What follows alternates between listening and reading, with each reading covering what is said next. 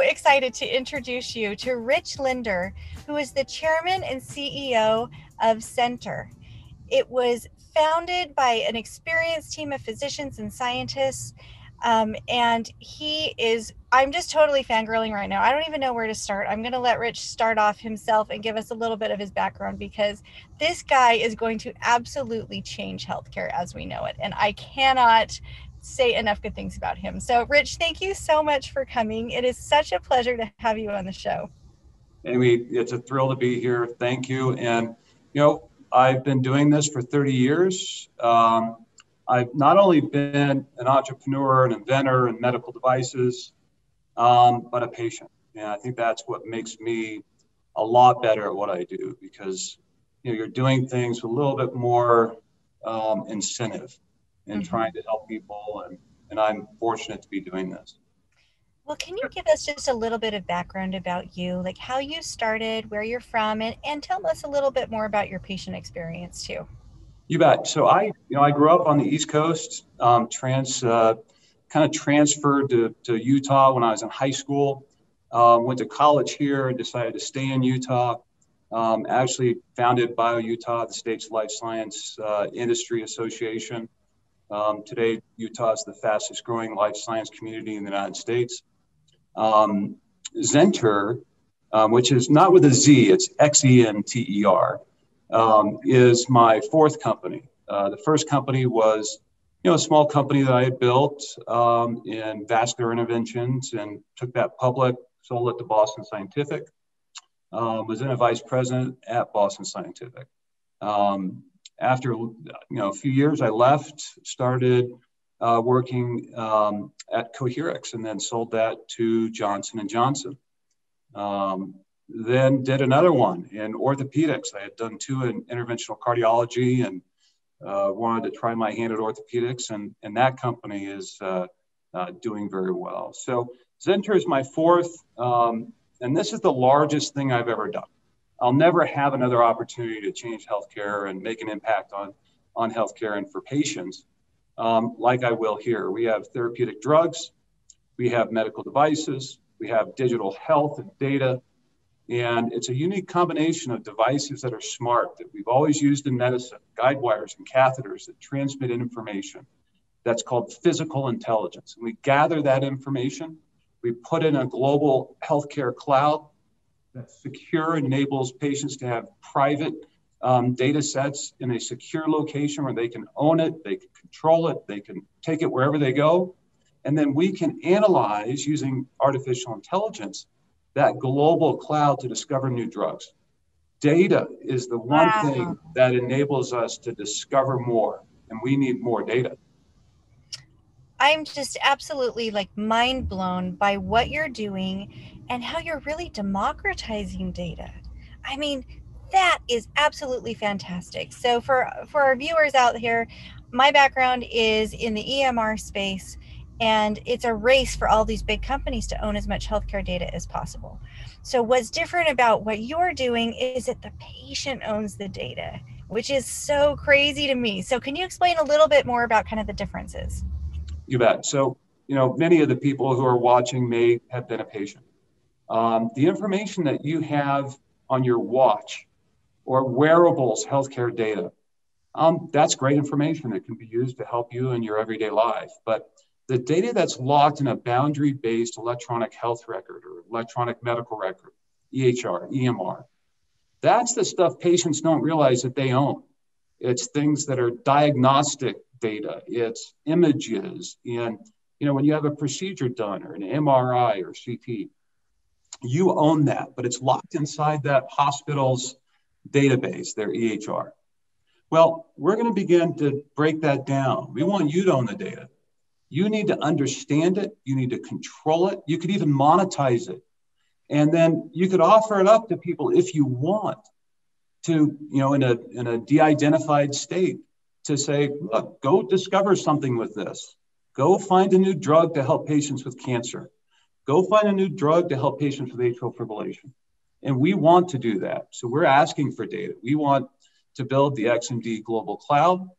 We want to help patients get connected to solutions and not just experience all the problems they had and they can contribute. Then we've put the top scientists in the world um, at work using AI algorithms to mine those data sets and discover new drugs from them. So we're looking at new ways for patients to be able to own their data, control their data, and maybe even monetize their data in the future. Wow. Uh, obviously, you've got a big following. I mean, you've got some really heavy hitting individuals who are coming along for this opportunity with you, like Bob Langer, the founder of Moderna, which if we didn't know his name a year ago, we know him now. We all know my husband got the uh, vaccine yesterday and has a dead arm today. And I know. and Jim I, Tobin. and, and, and, Jim Tobin from Boston Scientific, where we know you, you've had an affiliation before, but why would they come along with you? I mean, what what really is the motivation and the incentive?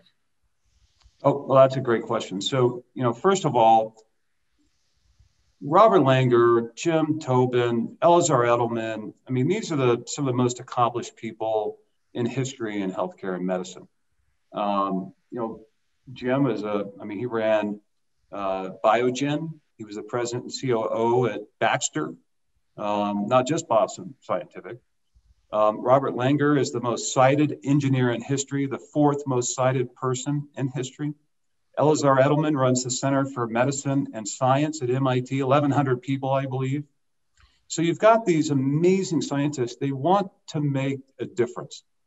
They want to contribute. They're at a point in their lives where they're not doing it to make money. I mean, they, they really aren't. They're doing it to enable new discovery, to make a difference, leave something behind, and contribute. And I think that's why people are here. I think a lot of us are sharing those objectives in life now. We're not necessarily competing. Uh, we don't have a lot to prove, and we just want to get to work. And you know, I think that's one reason. The next reason is we have new intellectual property, new technology, new things, new discoveries. You kind of get bored doing the same old thing. So we need new information, but also new techniques for utilizing that information.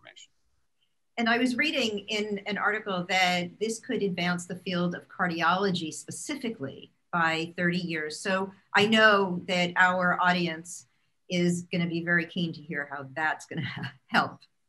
You bet. Well, you're familiar with X ray. You know, we've all had X rays, or we know people have had X rays. I have kids that I've had to take in for X rays. Well, we had come up with a thing called X wave, X W A V E. And that's the way we get signals out of the body. So the way we get signals out of the body and we, we develop sensors to, to basically sense a, a something that we need to treat. Um, we've developed that at, at Xenter, and that enables us to really do more with the devices we've had in the past and make them smart in ways that have never been able to have been smart before. So the size of these sensors are so small we had to buy new microscopes that had a, a one to five micron megapixel, you know, so that we could actually see the dimensions of the things that wow. That is so, that's incredible. Yeah, and they, they transmit data, and that physical intelligence data enables us to discover new therapeutics and you know drugs and devices. That is absolutely amazing. So, would you classify that as like an Internet of Things type of device? Yeah, I think you know we'll you know, in our device business, we'll launch specific devices. Mm-hmm. Um, we could license this technology out for people. We want to do as much as we can with this and proliferate this throughout medicine. So I think you're going to see, for example, in the future, what if you had an IV catheter that not only was used to inject medicine um, or draw blood, but actually did other things? It was sensing different types of things, like maybe white blood cells or um, you know other cellular structures and then we could deliver medicines before you know you're sick. That would be really amazing. That would be absolutely just life changing millions and millions and millions of people like that's just mind blowing to me. Like this ah it's so exciting to see what te- what you know really really smart people and technology together can do to improve humanity. And it is so exciting to see what you are doing and the way that you've set things up and the people that you're working with to really, really do that. So, um, you know, digital health, we've all been you know, we're all really interested in digital health. Like at the very minimum, we sometimes track our steps on our Apple phones, and then you know, or we'll like look at our watches and we'll see, you know, how how you know how we're doing. But what could what could Xenter have the potential to help us do in addition to like understanding when we're sick and and help us get medicine? What are some other potentials?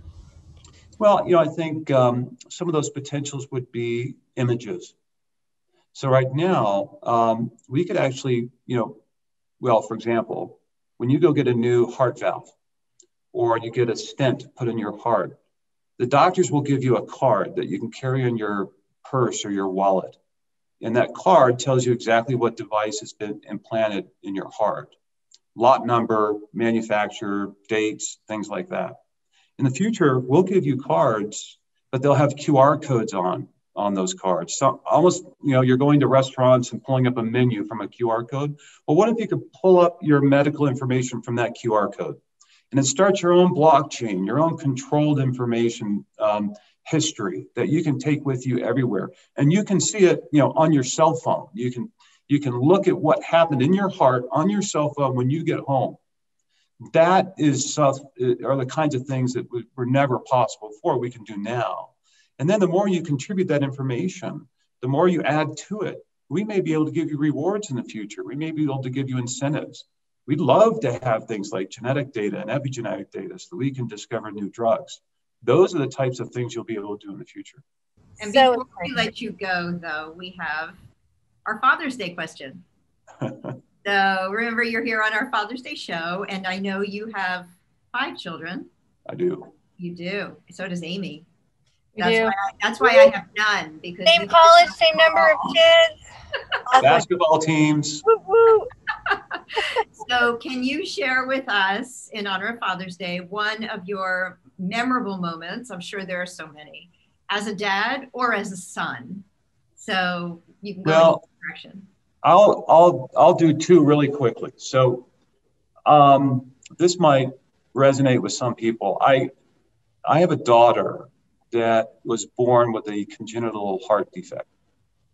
And by the time she was about seven years old, she needed to have open heart surgery for that. So I knew what they were doing. Um, I remember that I had told the doctor on the day of surgery, I said, you know, when she goes on the on bypass, our, on the heart and lung bypass machine, please send someone out and tell me, and then send somebody out to tell me when she's off. When you fixed this pole, and she's her heart is beating normally again. I wanted to know that. They said, okay, it'll be 25 minutes. We're going to send out a nurse and we'll tell you. So I was in the waiting room and um, they came out, told me she's on bypass. I set my watch and I started pacing. Mm. Um, it got to about 25 minutes and I just stood next to that door and nobody walked out. Then it was 30 minutes, and then 35 and 40. Finally, at 55 minutes, they walked out and said, Your daughter is off bypass, and things went well.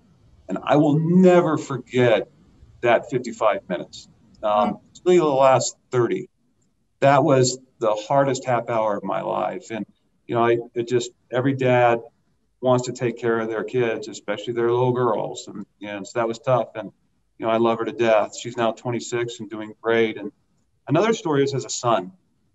So my dad, when I was a kid, you know, I, it was I think I was about eight years old in Northern Virginia, and um, boy, we had a big tree. We wanted to build a tree house. And Saturday morning, we went to the lumber store, bought a lot of stuff, and we started to build that tree house. Noon came along. I didn't want to do it. I wanted to go to the pool and swim. Dad made me stay and kept me working.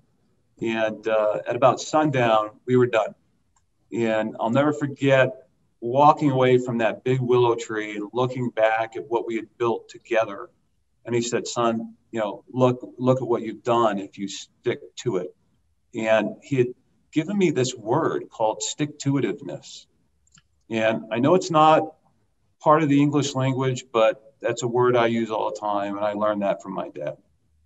It's English if you use it as that. As I'm going to use it. That's going to be part of my vocabulary to my kids moving forward. Thank you so much, Rich. It's just such a pleasure to meet you. Thank you for all the good that you're doing. in your family, in your community, in your work. And it's really great to know that there are people out there helping to guide the industry and uh, lead us all to better things. So, really appreciate it. Thank you both. It's been a pleasure to be with you today. Thank you. And we'll be right back.